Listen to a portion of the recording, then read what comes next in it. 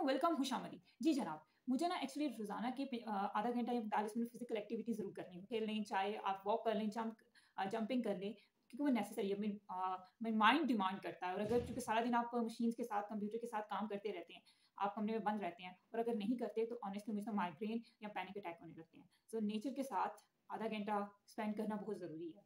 एक तो ये चीज़ हो गई ये इंपॉर्टेंट है।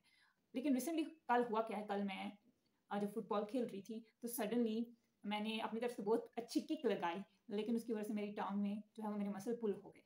और वो इतना बुरा हुआ मुझे एक दिन के लिए लगा कि आई गोना डाई चलने भी नहीं थोड़ा सा, चलना शुरू किया, लेकिन वो पेन ऐसी थी कि अनबियरेबल थी कि मुझे नहीं था कि मैं इसको बर्दाश्त कर पाऊँगी या मैं दोबारा सही तरीके से चल पाऊँगी। बट सडनली मैंने सहारा लेने के लिए आसपास जो है वो एक लकड़ी देखी इसकी मदद से मैं थोड़ा सा आराम से चल पाऊँ। तो मेरा एकदम से ध्यान उसकी तरफ़ गया और मैं उसको, अब मेरा फोकस था कि मुझे कोई एक सहारा मिल जाए कुछ से मेरा ध्यान उस तरफ़ हुआ मुझे पेन उतना नहीं अब फील हो रहा। अब मेरा पेन जो है वो कम होना शुरू हो गया मुझे पेन इतना फील नहीं हो रहा। और थोड़ी देर बाद मैंने महसूस किया कि मुझे मेरा पेन काफ़ी हद तक कम हो गया हाँ, उस छड़ी को पकड़ने के तक ही मेरा काफ़ी हद तक पेन जो है वो ठीक हो गया था। अब इसमें जो चीज़ अहम थी वो ये थी कि जब हम हम प्रॉब्लम के ऊपर फोकस करते हैं ना जब हम पेन के ऊपर फोकस करते हैं हाय हाय हाय तो उस वक्त हमें वो पेन ज़्यादा महसूस होता है। इतना ज़्यादा कि वो नाकाबले बर्दाश्त होता है। लेकिन जैसे ही आप वहाँ से फोकस हटाते हो, आप डिस्ट्रैक्ट होते हो, आप किसी और चीज़ की तरफ़ अपना जहन लगाते हो, आपको पेन कम कम कम महसूस होने लगता है। आप ये करके भी देख सकते हैं कि सम टाइम हमें कहीं पे चोट लगती है, कोई पेन होता है या किसी वक्त हम बहुत ज़्यादा परेशान होते हैं और एकदम से हम मोबाइल खोल के कोई फ़नी वीडियो देखना शुरू कर देते हैं।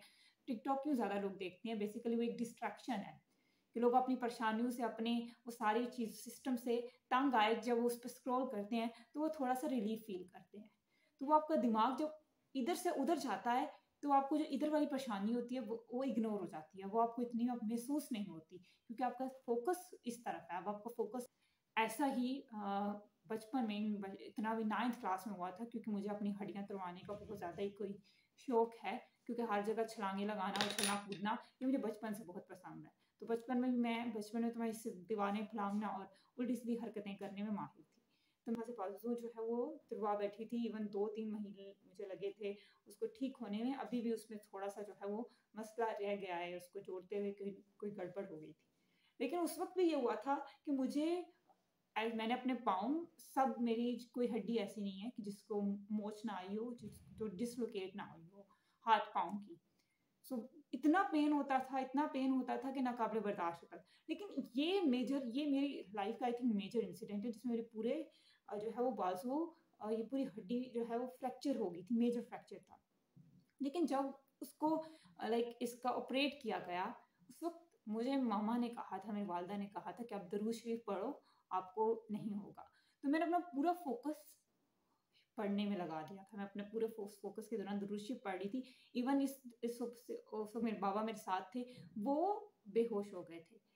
वो अनकॉन्शियस हो गए थे। उन्हें हर तरफ़ जो है वो होता है, वो मची हुई है। और मुझे कुछ फ़र्क नहीं पड़ रहा। एक एक चीज़ इंसिडेंट की मेरे अभी तक हरफ बहरफ मेरे यादाश्त में मौजूद है।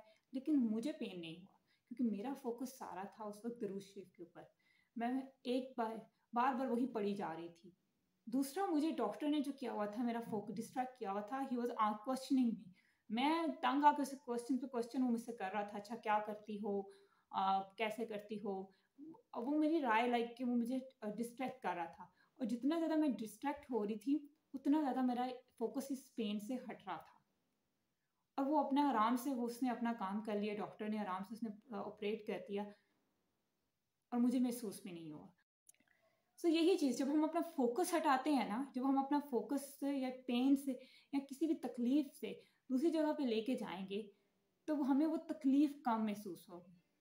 हमें वो पेन इतना नहीं महसूस होगा। तो यही चीज़ हमें अपनी लाइफ में अप्लाई करने की ज़रूरत है। ये एक लेसन है जो छोटी छोटी चीज़ों आपको हर आपको हर कायनात की हर चीज़ दर्द हर भी आपको सिखाने के लिए होता है। हमें हर चीज़ हमें कुछ ना कुछ एक लर्निंग दी जाती है। तो अगर हम खुद को, ये मेरे लिए एक लर्निंग थी कि एक्चुअली साइंस क्या थी बिहाइंड बट येस्टरडे जो कुछ हुआ, उसकी साइंस को जब मैंने अंडरस्टैंड करने की कोशिश की तो मुझे ये पता चला कि अच्छा ये एक है कि जब आप यहाँ से अपना फोकस इस दूसरी चीज़ की तरफ़ लेके जाते हो, अब आप पहली चीज़ वाली जो परेशानी है, जो डिस्टर्बेंस है जो, वो आप, आपको कम हो गई है। अब आपका फोकस जो है, इसीलिए कहते हैं, आप ओवर थिंकिंग करते हैं ना तो आपका बेड़ा गर्क हो जाता है। ये ओवर थिंकर हम ओवर थिंकर से कोई पूछे कि कितना बेड़ा गर्क होता है, लेकिन आपका बेड़ा गर्क हो जाता है जब भी आप ओवर थिंकिंग करते हैं। उसका बेसिक रीज़न ये है कि आप एक ही चीज़ के बारे में, इतनी सी बात होती है। आप चीज़ के बारे में सुबह, शाम, दिन, रात आपकी, उसके अलावा कुछ और सोच ही नहीं रहे तो उस वो एंड पे क्या करती है? आपका बेड़ा बिल्कुल डुबो देती है। So yes this is the learning खुश रहें अपना ख्याल रखें। और अगर आपके साथ ऐसा कोई इंसिडेंट हुआ है, या बचपन में आप में एकदम तबाहियाँ मचाते थे। आपने अपनी कोई हड्डी तोड़ी है? आपने कोई डिस्प्रोकेट किया है अपना मसल? तो मुझे ज़रूर बताएँ। अपना ख्याल रखें। अल्लाह हाफिज़।